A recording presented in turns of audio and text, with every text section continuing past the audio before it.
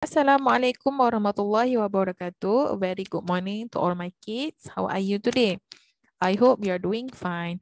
Okay, inshallah, today we are going to continue our lesson. We still in topic 5, which is my new house. So I hope you are ready with your English textbook in front of you. Okay, um, previous week kita dah belajar tentang how to use this and this. And today I'm going to focus on how to identify items in a house and possessive pronouns. Jadi apa itu identify items dan possessive pronoun? So kita move to the next slide. By the end of the lessons, people will be able to identify items in the house. Okay, apa maksud identify items in the house? Okay, kamu masih ingat lagi tak waktu mula-mula uh, kita belajar bab ini, kita belajar tentang the part of the house. Jadi hari ini kita nak tahu barang-barang apa yang ada dalam rumah kita. Ah, okay, contohnya dekat dapur, dekat dapur ada apa? Dekat ruang tamu pula ada apa? Ha, jadi kita nak identify barang-barangan tersebut. Okay. Itu yang pertama.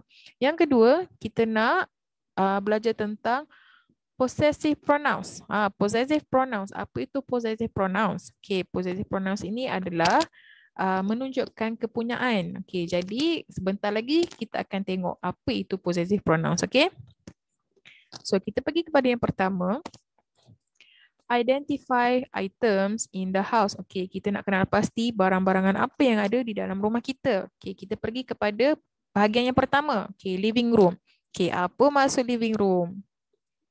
Ah, living room bermaksud ruang tamu. Jadi, apa yang ada dekat ruang tamu kita? Ha, okay, cuba tengok gambar yang saya bagi ni. Ha, okay, biasanya macam ni lah bentuk ruang tamu rumah kita. Okay, yang pertama sekali kita ada apa? Kita ada television. Ha, kita ada television iaitu TV. Yang kedua kita ada apa? Kita ada kapet. Ah, kapet ni macam biasalah ah mak-mak kita nak buat hiasan betul, nak bagi alas kita duduk. Ah, jadi kita ada kapet. Okay, yang ketiga kita ada apa? Ada small table. Nah, small table ni kadang-kadang mak kita letak apa? Letak gambar, letak pasu-pasu bunga, betul tak?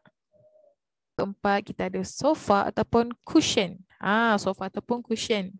Yang kelima, kita ada painting ataupun lukisan dekat rumah kita ataupun tak kisahlah ada frame uh, ayat kursi ke ataupun apa saja uh, lukisan yang ada dekat rumah kamu. Yang keenam, kita ada lampu. Ha, lampu apa? Lampu hiasan. Okay, biasanya ini adalah perkara-perkara asas lah ataupun barang-barangan asas yang ada dekat uh, ruang tamu kita. Okay.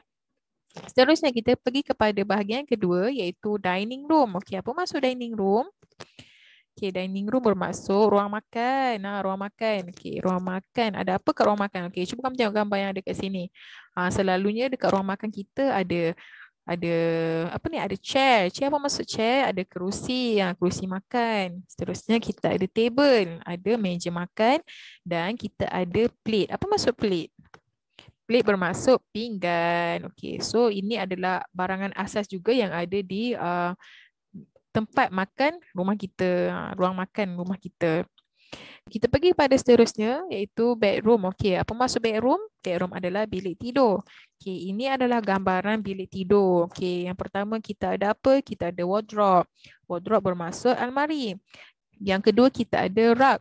Rug ni sama juga macam kapet. Okey. Yang ketiga kita ada bed iaitu katil. Okey. Yang keempat kita ada curtain. Apa maksud curtain? Curtain bermaksud kain langsir. Yang okay, yang kelima kita ada desk. Okay, desk itu apa maksud? Desk itu adalah meja, meja belajar kamu. Okay, ini ini juga adalah uh, barang-barangan asas lah yang ada dalam bilik kita. Okay. Kita pergi kepada seterusnya, ruangan seterusnya iaitu bathroom. Bilik mandi. Okay, apa yang ada dalam bilik mandi kita? Yang pertama kita ada mirror, kita ada cermin. Ha, cermin senang kalau nak berus gigi ke, nak tengok, nak sikat-sikat rambut ke. Ha, kita kena ada cermin dalam bilik mandi. Okay, yang kedua kita ada bathtub. Okay, bathtub ni um, tempat mandi lah. Ha, saya tak tahu lah rumah kamu ada ke tak, rumah saya tak ada bathtub. Ha, tapi uh, bathtub ni adalah dalam setengah rumah. Okay. Jadi selebihnya kita adalah tempat letak uh, ubat gigi, shampoo dan sebagainya. Okey, seterusnya kita pergi kepada bahagian yang terakhir iaitu kitchen. Uh, bahagian yang ramai orang suka. Uh, apa yang ada dekat kitchen? Apa yang ada dekat dapur rumah kita? Okey, yang pertama kita ada kitchen cabinet. Uh, kita ada kabinet dapur. Kat situ lah mak kita simpan tupperware, simpan apa, rempah ratus ke apa. Ha, semua simpan dekat uh, kitchen cabinet ni. Okay, yang kedua kita ada oven. Ha, oven. Yang ketiga kita ada microwave dan yang terakhir kita ada refrigerator, ada peti ais. Jadi ini adalah barang-barangan asas yang ada di setiap bahagian rumah kita. Okey. Seterusnya, ha dah habis dah, dah settle dah tentang item yang ada di dalam rumah. Kita akan pergi kepada yang kedua. Ha pembelajaran kita yang kedua iaitu possessive pronouns. Ha macam saya bagi tahu tadi, kita nak belajar tentang possessive pronouns. Jadi kelas, apa itu possessive pronouns? Okay, jom kita tengok makna possessive pronouns dulu. Maksud possessive pronouns. Okay, maksud possessive pronouns ialah to show ownership. Okay, to show ownership. Apa itu to show ownership? Untuk menunjukkan kepunyaan. Ha, untuk menunjukkan sesuatu barangan itu adalah kepunyaan kita. Yang kita punya, okay? Jadi, cuba tengok contoh yang saya bagi. This is my book. Okay, ini adalah buku saya. This book is mine. Maksudnya apa kat sini? Buku ini saya punya. Ha, jadi this is my book nak bagi tahu ini adalah buku saya. Bila guna perkataan this book is mine, buku ini adalah saya yang punya. Ha, maksudnya kita nak menunjukkan kepunyaan. Jadi kelas hari ini kita nak belajar tujuh jenis ah tujuh jenis possessive pronouns yang kita perlu tahu. Ada mine, ada yours, ada his, hers, ours, yours dan theirs. Okay. okay. Jom kita tengok contoh yang pertama. Yang pertama, kita pergi kepada mine. Okay. Sama juga contoh yang Ustazah bagi tadi. This is my book. Ini adalah buku saya. This book is mine. Buku ini saya yang punya. Okay. Jadi mine dekat sini untuk menunjukkan saya punya. Okay. Yang kedua, yours. Okay, yours. Macam mana pula yours? This is your book. This book is yours. Okay, ini adalah buku awak. This book is yours. Buku ini awak yang punya. Okay, jadi yours dekat sini menunjukkan awak punya. Okay. Seterusnya, kita pergi kepada hers. Okay, hers. Siapa hers ni sebenarnya? Okay. This is her book. Okay. This book is hers. Ah, okay. Her ni menunjukkan kepada siapa?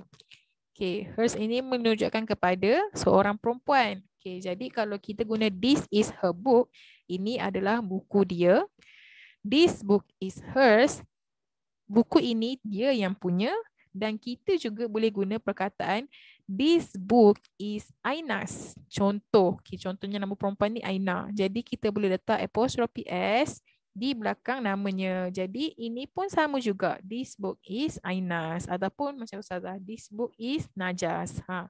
Jadi kalau kamu tak nak guna perkataan hers, kita juga boleh guna perkataan tambah saja apostrophe S di belakang nama. Okay. Jadi her adalah untuk perempuan. Dia dia seorang perempuan. Okay.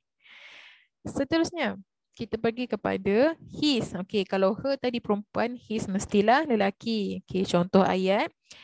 This is his book. This book is his. Ataupun kita boleh gunakan perkataan this book is Amir's. Ha, nampak? His sama je ejaannya. Dekat atas ni pun his, bawah ni pun his. Ha, tak ada tambah tak ada tambahan S lagi dekat belakang dia, tak ada. Okay, jadi his ini menunjukkan dia seorang lelaki yang punya. Okay. Kita pergi kepada ours. Okay. Macam mana pula ours? This is our book. Okay, buku ini buku kami. This book is ours. Buku ini kami yang punya. Ha, this book is ours. Ha, tambah S saja di belakangnya. Jadi ours ini menunjukkan kami punya. Ha, our. Okay, our ini menunjukkan kami. Okay, yang terakhir sekali theirs. Okay, theirs. Siapa pula theirs?